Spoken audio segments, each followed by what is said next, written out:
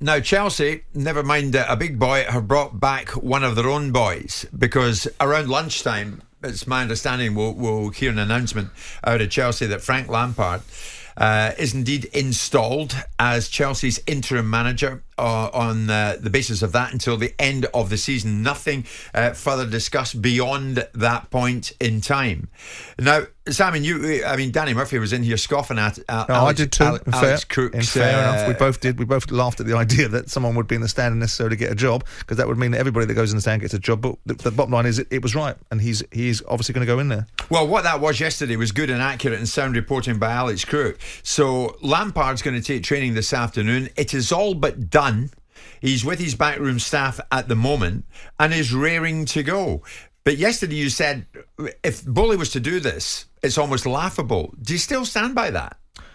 Yeah, I don't think it's forward thinking. I don't think it's a situation where uh, an owner of a football club has doubled down six weeks ago on an, on a manager that clearly, not just because the orthodoxy suggests that taking managers into steps like that will always end up in a particularly negative uh, outcome, but because most people with the scales off their eyes looked at Graham Potter and thought, this is not going to work. And whilst he's a great coach, this is a very different dynamic. So then you get that situation, and you and you have somebody doubling down, telling you they're going to do something different. It's a longer term project, and the solution is to take them out at a time when they can't. When the new manager, anyone coming in can't affect an outcome because the, the die's been cast, the, the, the squad's been assembled, and then you go back to somebody that's been patently unsuccessful in two incarnations. Well, Three- Chelsea th- didn't quite come up to it. Lampard's 84 games in charge at Chelsea brought 44 wins, 17 draws, 23 defeats. So he, he had uh, works out a win percentage of 52 percent. 52%, yeah. But what, Which is not what- great, is it? uh, looking at it from Boehly's point of view, what does he do? Bruno's in the, the dugout. Most Chelsea fans are saying, "Who is this fella? He came from Brighton. All right, so he's in, is he? He's in charge." Or does he bring back Lampard, who, like John Terry, is a club legend, But- who, who could galvanise that place right now at a time they really need But I'm unity? not, I'm not sure they need galvanising. They need goals. I mean, the team. They need both. The team doesn't look to me like it's bereft of confidence. It looks like it's bereft of goals. If you go and play Aston Villa and Well, you that's have, because they've no out and out striker. well, that's that's true. But that the, the galvanising people that can't score goals is galvanising people that can't score goals. And the bottom line is, is that Chelsea, to me, have been not that far away from winning games. Of course, losing games is losing games, and that is the trajectory that you want to stop. I look at it and say, well, great. I mean, Frank Lampard wasn't successful at Chelsea. He had a decent first season, lost the FA Cup final that they perhaps should have won, um, got his head. Um, uh, the myth was that they didn't get any players in. Well, they had a pretty strong squad anyway, and they'd signed Pulisic and paid for him during that transfer embargo. And and you then get to the second season, and it wasn't good enough. And it wasn't good enough in terms of the performance of the team, uh, the style of their play, and the outcomes they were getting. So he got he got fired for perfectly reasonable reasons. At the time, I felt it was a little unkind because he'd been given a brief with the fact that he'd been given younger players. But the more you look into it post the event, the less impressive it became. He went to Everton, and they stayed up because there were two, three worse sides than them in the division, not because of wonderful management. And then, with due respect to Frank, they were poor, poor, poor, poor. Hmm. So that if, if that's the blueprint for an iconic, elite, two point five billion pound football club to solve a problem, is to go back to somebody that they need to galvanise a fan base with, then there's something lacking in their thinking. They should be after a manager.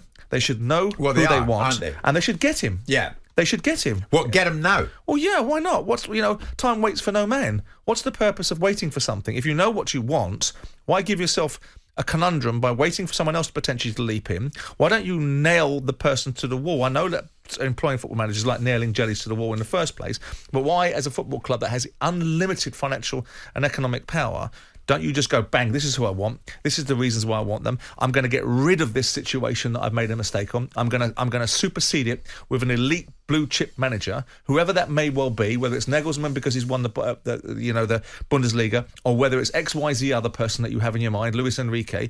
But to me, it's lightweight populist thinking. What's it like? What what what does it add up to for Frank? For Frank Lampard, what does it add up to at the moment? Is it a good move for him to come back into the limelight in surroundings very familiar to him?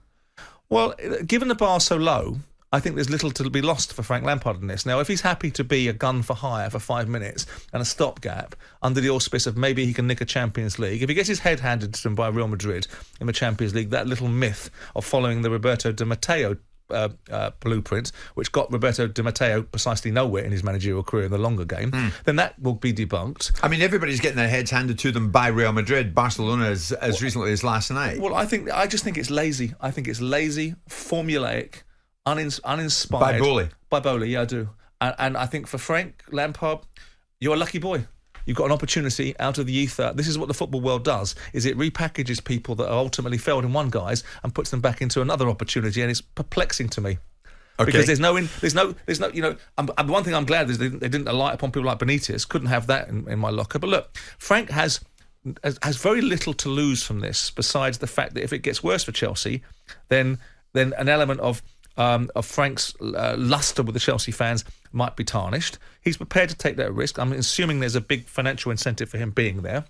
I'm assuming that some way or another, the assumption is it'll get better. It's difficult to see if Chelsea aren't winning games and aren't scoring goals, how it could get much worse.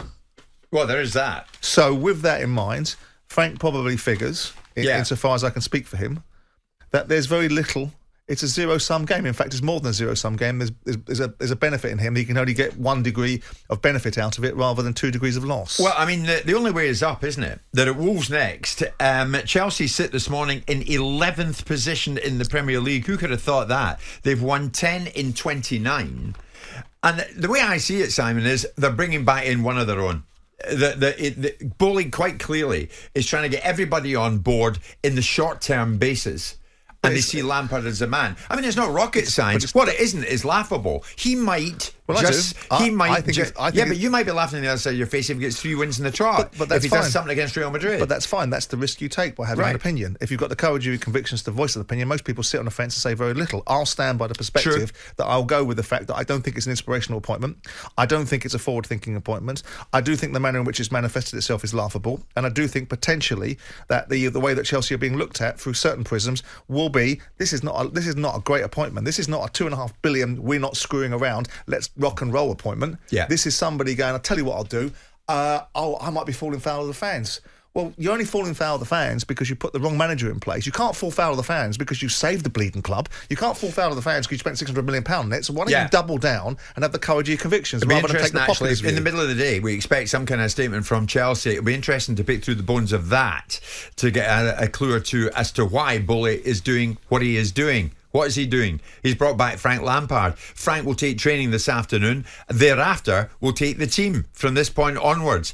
But putting your allegiances aside, and maybe this is really to the real Chelsea diehards this morning, what's your honest thought on this? Where is Boehly's head in this? Is there method in it? If so, what is the method? And do you back Boehly's decision? Frank Lampard back, all but back, in the hot seat at Chelsea, a seat that he held before he uh, disappeared, as has Graham Potter. 03717 double two double three double four eight ten eighty nine. Thursday morning, lots going on. Jim White and Simon Jordan. Monday to Friday mornings from 10 on AM, on DAB, via the Talksport app, and on your smart speaker. Talk Sport.